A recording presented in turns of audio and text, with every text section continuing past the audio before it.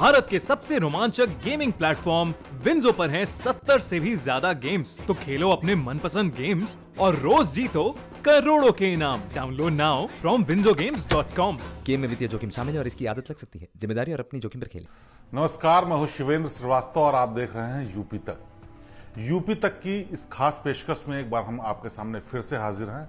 इसमें हम बात करते हैं एक ऐसी शख्सियत के बारे में जिससे पता चलता है कि वो शख्स कैसे अपने क्षेत्र में धीरे धीरे धीरे धीरे करके चर्चित हुआ और फिर एक दिन उसकी चर्चा इतनी बढ़ी कि वो आम से खास आदमी हो गया। फिर चाहे वो अपराधी हो, कोई पॉलिटिशियन हो, बिजनेसमैन हो या फिर कोई और इंसान। आज हम जिसकी बात करने जा रहे हैं, वो पहली बार विधायक बना और विधायक बनने के फ़ौरन बाद ही वो मार दिया गया। अपने कार्यकाल के दौरान वो सिटिंग विधायक था, उस वक्त उसकी हत्या की गई। लेकिन उसकी हत्या से जो कहानी सामने आई, उससे पता चला कि कैसे उत्तर प्रदेश में अपराध का बोलबाला है और कैसे अपराधियों और पॉलिटिशियंस के बीच मिली भगत ने चीज़ों को बदल के रख दिया है। हम बात कर रहे हैं एक ऐसे विधायक की, जो कि भारतीय जनता पार्टी का उस वक्त विधायक था और उसी की हत्या के चलते आजकल एक अपराधी पर शामत आई हुई है। हम बात कर रहे हैं बीजेपी के विधायक रहे कृष्णानंद राय की, जो कि महमूदाबाद से विधायक थे और साल 2002 से लेकर 2005 के बीच में जब वो विधायक थे, तभी उनकी हत्या कर दी गई। और हत्या उनकी की मुख्तार अंसारी और उसके खास लोगों ने। और आज की तारीख में मुख्तार अंसारी जितनी चर्चा में है उससे पहले चर्चा में आने के लिए उसने जब हत्या की, उसके बाद पहली बार मुख्तार अंसारी का नाम इतना बड़ा हुआ। हम आपको बताते हैं कि कैसे कृष्णनारायण राय की हत्या की गई। दरअसल 2002 के विधानसभा चुनाव में मुख्तार अंसारी के रिश्तेदार ने कृष्णानंद राय के खिलाफ चुनाव लड़ा था। उसके रिश्तेदार की हार हो गई और इस हार को मुख्तार अंसारी बर्दाश्त नहीं कर पाया। हालाँकि, जिस वक्त हत्या हुई, उस वक्त मुख्तार अंसारी जेल में था, लेकिन वहीं रहते हुए उसने इस पूरी साजिश का ताना बाना बुना। जाँच में पता चला कि कृष्णानंद राय को जिस दिन मारा गया, उस दिन से पहले तमाम योजना पर और साजिश पर जेल के भीतर से ही काम हो रहा था, जिसमें मुख्तार अंसारी की कॉल रिकॉर्ड्स भी एजेंसीज के पास थी। लेकिन इस पर आखिरकार क्यों एक्शन नहीं हुआ और आखिरकार क्यों इतनी देरी की गई कि कृष्णानंद राय की हत्या कर दी गई? साल 2002 में विधायक बनने के बाद से ही मुख्तार अंसारी ने अपना रुख साफ़ कर दिया था कि कृष्णानंद राय का बदला इस पूरे मामले में कृष्णानंद राय से लिया जाएगा। दरअसल साल 2002 में जब विधानसभा के चुनाव हुए, उससे पहले माना जा रहा था कि मुख्तार अंसारी जिसके ऊपर भी हाथ रख देगा, उसकी जीत तय है, लेकिन हुआ इसका ठीक उल्टा। भारतीय जनता पार्टी की तरफ़ से चुनाव लड़ने वाले कृष्णानंद राय चुनाव जीत गए। इस जीत और मुख्तार अंसारी के रिश्तेदार की हार को मुख्तार अंसारी बर्दाश्त नहीं कर पाया और उसने खुलेआम इस बात का ऐलान कर दिया कि इस बात का बदला लिया जाएगा। हालाँकि कृष्णानंद राय पढ़े लिखे इंसान थे और अपराध से उनका दूर दूर तक वास्ता नहीं था, इसीलिए उन्होंने इस बात को गंभीरता से नहीं लिया। 29 नवंबर 2005 को जब वो अपने एक किसी रिश्तेदार के यहाँ एक प्राइवेट फ़ंक्शन समारोह से होकर के वापस लौट रहे थे उस वक्त मुख्तार अंसारी के लोगों ने उन्हें घेर कर मारा। और उस पूरे हत्याकांड में पहली बार ए के फोर्टी सेवन गन का इस्तेमाल हुआ था, जो कि मुख्तार अंसारी की तरफ़ से इंतज़ाम की गई थी। और इसी के साथ पता चला कि कैसे अपराधियों और एसटीएफ और तमाम दूसरे अधिकारियों का भी नेक्सस काम करता है। हालाँकि कृष्णानंद राय को एसटीएफ के अधिकारियों ने पहले ही चेता दिया था कि उनके मर्डर की साजिश हो रही है। लेकिन अधिकारियों ने सुरक्षा के लिए कोई कदम नहीं उठाया। और न ही कृष्णानंद राय ने अपनी तरफ़ से कोई ऐसा एहतियाती कदम उठाया जिससे पता चले कि उन्होंने इस पूरी बात को गंभीरता से लिया है। कृष्णानंद राय अपनी बुलेट प्रूफ गाड़ी में अक्सर चलते थे, लेकिन उस दिन बुलेट प्रूफ गाड़ी में नहीं बैठे थे।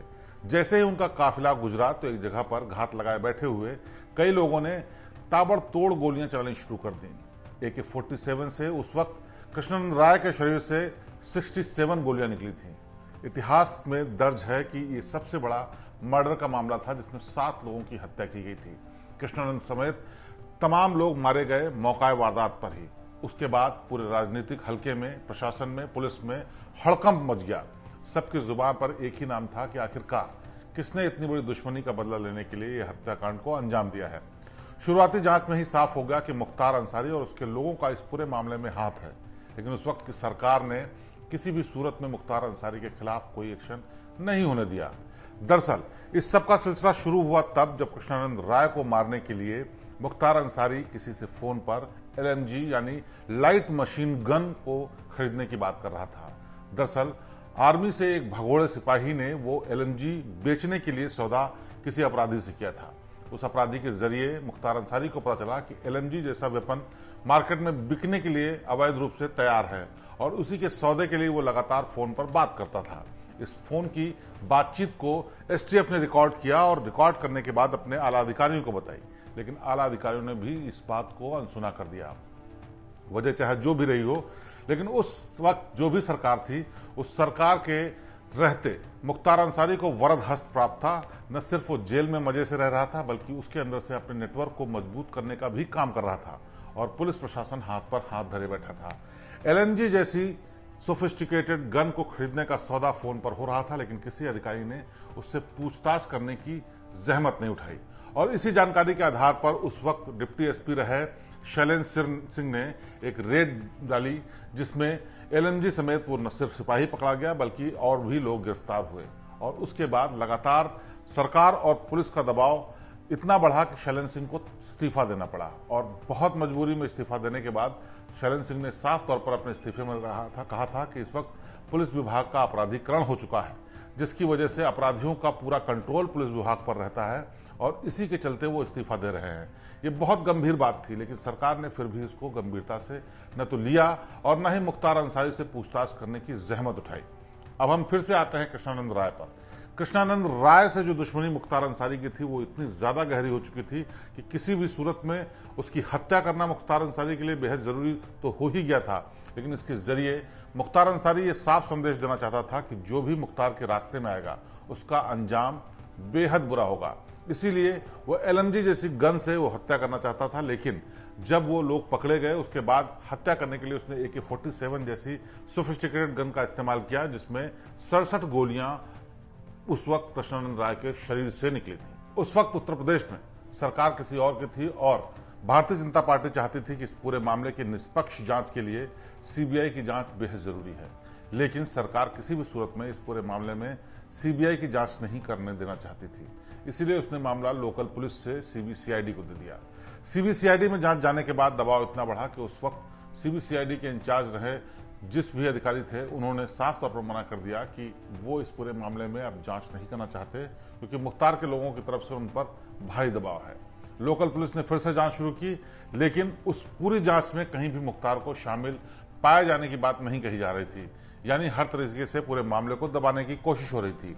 ऐसे में कृष्णानंद राय की पत्नी को किसी ने कानूनी सलाह दी कि अदालत के ज़रिए अगर इसमें कोशिश की जाए तो पूरे मामले में न्याय मिल सकता है। आखिरकार अदालत ने इस बारे में आदेश दिया कि इस पूरे मामले की सीबीआई जाँच की जाए। तब ये पहला झटका था जिसमें मुख्तार अंसारी के लिए मुश्किल बढ़ रही थी। लेकिन मुख्तार अंसारी के लिए जाँच के लिए अगर किसी भी तरीके की ज़रूरत थी तो उसमें सरकार की परमिशन की ज़रूरत थी। इसीलिए सरकार के पास इस बात की अर्जी अधिकारियों ने दी कि क्या इस पूरे मामले में मुख्तार अंसारी से पूछताछ की जा सकती है।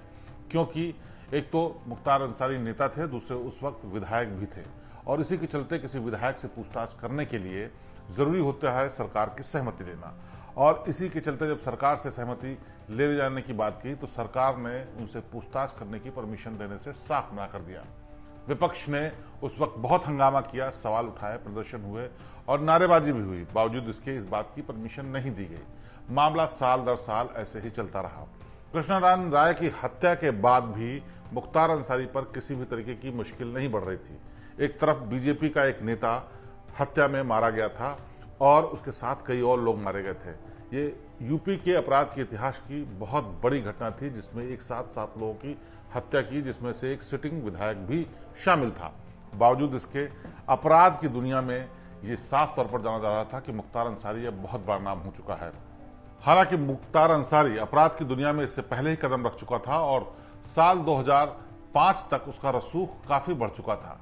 लेकिन कृष्णानंद राय की हत्या के बाद से उसका कद अपराध की दुनिया में बेतहाशा बढ़ गया। बड़े बड़े और छोटे सभी गैंग उससे न सिर्फ़ खौफ खाने लगे, बल्कि पुलिस और प्रशासन उसके रास्ते में रोड़ा नहीं पड़ना चाहता था। आपको बता दें कि मुख्तार अंसारी जब जेल में गाजीपुर में बंद था तो उसके रसूख का आलम यह था कि उसके लिए जेल प्रशासन ने विशेष रूप से जेल के भीतर ही एक फ़िश पॉन्ड बनाया था, क्योंकि मुख्तार अंसारी को मछली खाने का बहुत शौक था। और मछलियों के शौक के चलते उसने जेल प्रशासन से कह करके वहाँ पर एक तालाब खुदवाया, जिसमें मछलियाँ पाली गईं। ताजी मछलियों की दावत हर रोज वहाँ पर होती थी और तमाम लोगों का दरबार मुख्तार अंसारी के सामने रहता था, जिसमें न सिर्फ़ वो उनके मामले सुलटाता था, बल्कि अपने नेटवर्क को मज़बूत करने का भी काम करता था। कई ऐसे अधिकारी थे जो जेल में उसके साथ न सिर्फ़ मिलने जाते थे, बल्कि आरोप ये भी है कि उस वक्त के तत्कालीन जिलाधिकारी मुख्तार अंसारी के साथ जेल के भीतर बैडमिंटन खेलने जाते थे। हालाँकि किसी भी जाँच में बात की पुष्टि नहीं हुई, लेकिन पूर्व डीजीपी उत्तर प्रदेश के ब्रजलाल साफ़ तौर पर कहते हैं कि मुख्तार अंसारी जैसे लोगों का आपराधिक वर्चस्व इतना स्ट्रांग था कि वो जो चाहे वो करते थे। उसमें जिलाधिकारी एक बहुत छोटी कड़ी था। इसी के चलते मुख्तार अंसारी की सुविधा के लिए साल दर साल एंबुलेंस सेवा भी रही उसके साथ। ये वही एंबुलेंस है जो कि मोहाली में पेशी के वक्त बाहर खड़ी थी और उत्तर प्रदेश के नंबर की इसी एंबुलेंस को लेकर के काफ़ी विवाद खड़ा हुआ। लेकिन ये एंबुलेंस मुख्तार अंसारी और उस जैसे कई अपराधियों के पास साल दर साल, सालों साल रहती है। और शुरुआत से ही इस एंबुलेंस को मुख्तार अंसारी अपने पास इसलिए रखता था कि अगर किसी पेशी के वक्त, कहीं जाने आने के वक्त या कहीं बाहर निकलते वक्त कोई आपराधिक वारदात होती है तो वो उसका जवाब दे सके। दरअसल ये एंबुलेंस नहीं, बल्कि पूरा चलता फिरता किला था। ऐसा मानना है, पूर्व डीजीपी ब्रजलाल का, जिन्होंने साफ़ तौर पर कहा कि मुख्तार की एंबुलेंस के भीतर न सिर्फ़ सैटेलाइट फ़ोन, तमाम संवेदनशील जो हथियार हैं वो, उसके अलावा तमाम बुलेट प्रूफ की भी चीज़ें होती थी, जिसकी वजह से अगर कोई घटना हो तो मुख्तार अंसारी उससे साफ़ तौर पर निपट सकता था। और यही एंबुलेंस मोहाली में उस वक्त भी मौजूद थी, जबकि वो पेशी के लिए रोपड़ जेल से लाया गया था। हालाँकि अब इस पूरे मामले में जाँच चल रही है और मुकदमा भी दर्ज कर लिया है। और ये भी पता करने की कोशिश हो रही है कि आखिरकार मुख्तार अंसारी कैसे साल दर साल इस एंबुलेंस के सहारे चलता रहा और किसी की उस पर नज़र नहीं पड़ी। लेकिन बड़ा सवाल ये भी है कि क्या ये वाकई मुख्तार अंसारी के रसूख का ही आलम है या पुलिस की उस काहली का भी नतीजा है, जिसके चलते न सिर्फ़ उत्तर प्रदेश से पंजाब तक ये एंबुलेंस इन संवेदनशील चीज़ों के साथ न सिर्फ़ पहुँच गई, बल्कि लगातार इस्तेमाल होती रही। हालाँकि पंजाब सरकार के ऊपर भी आरोप लगे हैं कि वो लगातार मुख्तार अंसारी का सपोर्ट कर रही है और उसको बचाने के हर वो प्रयत्न किए जिससे कि उसको उत्तर प्रदेश की जेल में न भेजा जाए। लेकिन आखिरकार सुप्रीम कोर्ट के निर्देशों के बाद उसको अब उत्तर प्रदेश की बांदा जेल में आना होगा और उसके चल, ऊपर चल रहे तमाम मुकदमों का निपटारा भी करना होगा। लेकिन कृष्णानंद राय का ही मामला ऐसा मामला था जिसके चलते मुख्तार अंसारी न सिर्फ़ इतनी बड़ी चर्चा में आया बल्कि उसके नाम से लोग खौफ भी खाने लगे। क्योंकि आमतौर पर अपराध करना आम बात है, लेकिन एक विधायक को सरेआम भून देना गोलियों से और तमाम उसके साथियों के साथ ये बेहद बेहद खतरनाक और बड़ी घटना थी। उस वक्त की ये घटना सालों साल चर्चा में रही और सवाल ये उठते रहे कि क्या वाकई पुलिस से भी ज़्यादा स्ट्रांग नेटवर्क अपराधियों का हो चुका है? हालाँकि, तमाम पुलिस अधिकारी इस बात से इनकार करते रहे, लेकिन कृष्णनंद का परिवार लगातार इस बात का आरोप लगाता रहा कि बगैर पुलिस की मूली भगत के इतना बड़ी कांड को अंजाम नहीं दिया सकता। दूसरी बात, उसके बाद लगातार तमाम कोशिशें परिवार करता रहा कि इसमें जल्द से जल्द मुख्तार अंसारी के खिलाफ तमाम जाँच पूरी करके उनको न्याय दिलाया जाए। लेकिन इसके बाद कई सरकारें आई और बदल गई। फिर भी कभी उनकी सुनवाई नहीं हुई। और वो हर पैतरे के साथ न सिर्फ़ गवाहों पर दबाव बनाता रहा, बल्कि अपना स्थानांतरण ऐसी जेलों में कराता रहा, जहाँ वो सुरक्षित रह सके। इसी का नतीजा है कि उत्तर प्रदेश में जब बीजेपी की सरकार आई और योगी आदित्यनाथ मुख्यमंत्री बने, उसके बाद तमाम अपराधी जो कि यहाँ पर खतरा महसूस कर रहे थे, वो इस कोशिश में जुट गए कि कैसे वो अपना इस राज्य से दूसरे राज्य में स्थानांतरण करा सकते हैं। मुख्तार अंसारी ने भी उस वक्त तमाम कोशिशें करके अपना ट्रांसफ़र यहाँ की जेल से यानी उत्तर प्रदेश की जेल से करवा लिया पंजाब की रोपड़ जेल, जहाँ पर पंजाब में कांग्रेस की सरकार है और माना जाता है कि वहाँ के ड्रग्स सिंडिकेट से लेकर राजनीतिक नेताओं तक मुख्तार अंसारी की अच्छी पैठ थी। कई मौकों पर मुख्तार अंसारी ने अपने धन और बल दोनों से उनका सहयोग किया। इसी के एवज में वहाँ पर उसको सुरक्षित व्यवस्था मिली थी। कहा यह भी जाता है कि रोपड़ की जेल में उसका दरबार और उसका रसूख बदस्तूर जारी था। जब तक कि सुप्रीम कोर्ट ने यह नहीं कह दिया कि पंद्रह दिन के भीतर पंजाब सरकार उत्तर प्रदेश के मामलों में मुख्तार अंसारी को सौंपे। बहरहाल, अब जब मुख्तार अंसारी की जाँच यहाँ पर उत्तर प्रदेश में शुरू होगी और मुकदमे अंजाम तक पहुँचने वाले होंगे तो उसमें सबसे बड़ा मुकदमा कृष्णानंद राय की हत्या का ही होगा। क्योंकि अगर सूत्रों की माने, पुलिस की माने और हमारे जानकारी के मुताबिक जितने पुख्ता सबूत पुलिस के पास मुख्तार अंसारी के खिलाफ इस मामले में है, उतने किसी और मामले में नहीं। दरअसल, मुख्तार अंसारी पर शक ही इन्हीं पुख्ता सबूतों के आधार पर पैदा हुआ था, क्योंकि जिस वक्त मुख्तार अंसारी इस बात की साजिश कर रहा था कि कैसे कृष्णानंद राय को बेहद भयानक तरीके से मारा जाए, उस वक्त उसकी बातों की रिकॉर्डिंग हो रही थी। और एसटीएफ ने इन सभी बातों को सुना था, जिससे पता चला था कि एलएमजी यानी लाइट मशीन गन जो कि सेना से चुराई गई थी, उसी से हत्या करने का प्लान है, और उसी को मुख्तार अंसारी उस भगौड़े सैनिक से एक करोड़ रुपए में खरीदने जा रहा है। उस वक्त एक करोड़ रुपए की कीमत बहुत ज़्यादा होती थी, जिस वक्त की ये बात है। और एलएमजी जैसी गन खुले में, यानी बाहर, यानी सेना से बाहर आ जाना बहुत ही बड़ी बात थी। लेकिन इन सब इंजामों को वो कर पाता, इससे पहले ही पुलिस को भनक लग गई और उसको गिरफ़्तार कर लिया गया। और इसके बाद ही मुख्तार अंसारी ने फैसला किया कि ए के फोर्टी सेवन से इस घटना को अंजाम दिया जाएगा।